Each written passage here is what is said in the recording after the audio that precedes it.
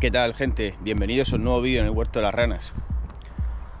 Hoy tengo que presentaros a un nuevo ser en el huerto. Por detrás es verdad que está un poco huevado, pero más de uno tiene la cabeza así, así que bastante realista. Este es el nuevo espantapájaros del huerto, nuestro nuevo amigo Twister, el que nos va a defender de los pájaros. El que ya de hecho nos defiende de los pájaros. Estaban minúsculos, minúsculos, minúsculos. Y fue, mira, fijaros en este. Este está un poco más grandecito. Este ha crecido desde el momento en el que puse a Twister. Tiene su brazo, tiene su arma, su arma letal, ¿vale? No es un recogedor roto, eh, que estuviese en el huerto por ahí tirado durante tres años. No, es un arma letal. Esto es un arma letal. Y esto de aquí parece plástico, pero en realidad el metal, este es el acero que llevan los Cybertruck de Tesla. Este de aquí. Y a mí me gusta mucho, me parece muy gracioso, la verdad. Muy gracioso, igual demasiado tenebroso. Por eso me parece gracioso, porque es tenebroso. Las cosas como son. Bueno, amigos, y os voy a contar cómo he hecho el espantapájaro. O cómo se ha hecho el espantapájaro más bien, porque... A ver, lo cierto es que yo quería hacer un espantapájaro y me puse a intentar hacerlo y lo primero que intenté hacer fue la cabeza, ¿vale? Pero cuando estaba haciendo la cabeza, que era un poco patatera, era algo diferente a esto, viene mi hermano y me dice, no, no, no, no hagas eso así y espérate porque tengo ahí una bola, tengo una pelota de plástico y con eso puedes darle la forma a la cabeza. Y vas poniendo papel de periódico y cola y vas a formar una masa buena, hueca, que va a ser menos pesada y va a aguantar más porque eh, la cola con el papel de periódico pues al final se vuelve como cartón piedra. Y eso es lo que tiene aquí el twister en la cabeza. Y, bueno, ya veis que tiene hasta la forma de la nariz, tiene cejas, tiene los ojos, la boca.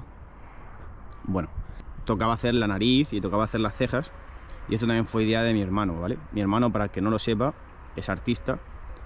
Y entonces se puso y hizo la, la primera forma que tiene la nariz y la primera ceja. Y me dejó el modelo para que yo continuase haciendo la segunda ceja y terminase la nariz. Así lo hice, era bastante sencillito porque ya me había puesto él como la base para poder hacerlo.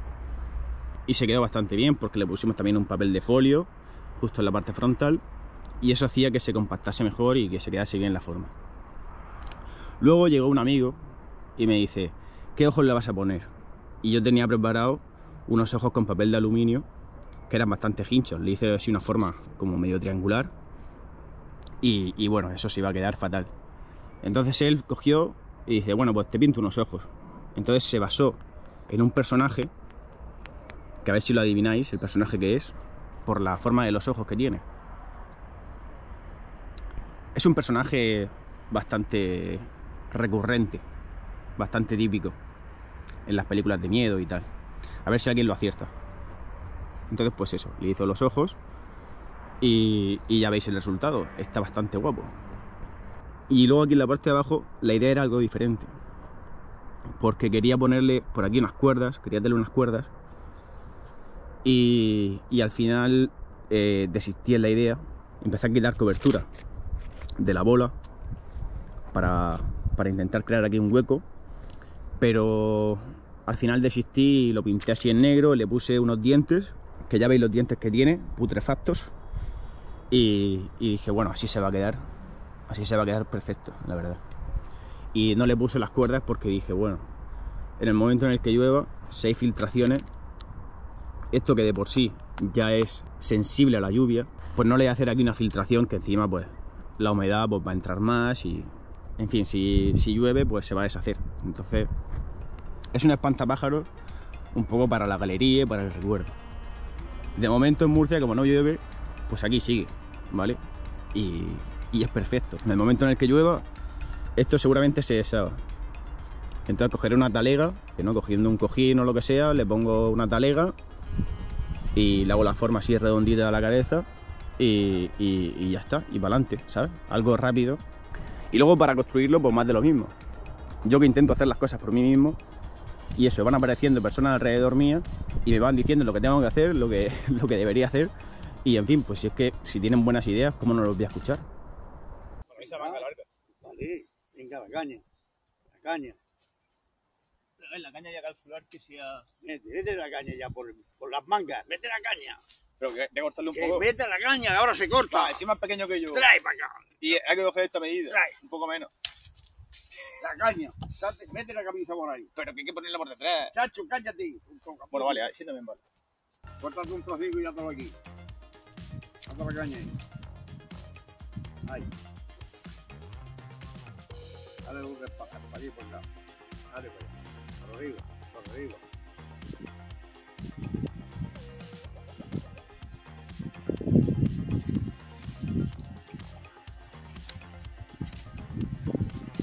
Y esto, eh, hay que ponerle una.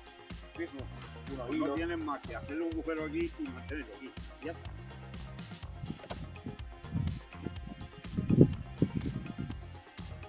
Porque así está bien, ¿sabes? Esa es la altura de una persona. Déjalo. Está en la altura de una persona. Ahora, aprovechalo aquí. Déjalo. Ahora, déjalo. Ahora, métele algo por aquí, de broza por aquí, para que se. Métele. Métele más.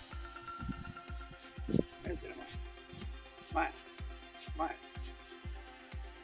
Vale, ahora esto tienes que meterlo por acá para este lado. Tienes que meterle aquí, aquí antes tienes que meterle aquí. Aquí.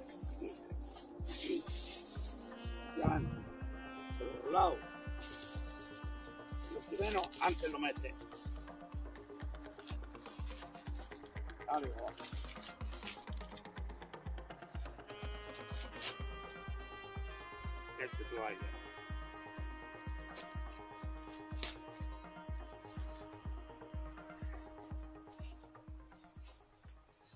Y bueno, ya con el paso de los días, pues así es como ha ido quedando. Las ramitas estas, pues cada día van cambiando. Porque, por ejemplo, llega al huerto un día, un día cualquiera y está la rama en el suelo porque los pájaros pues, se posan aquí. Los pájaros eh, intentan quitarle el sombrero al twister. Le tiran la otra, le tiran la, la guadaña. Los pájaros no se están quietos porque eh, en realidad sí que supone un... Porque en realidad sí que da miedo, sí que les da miedo.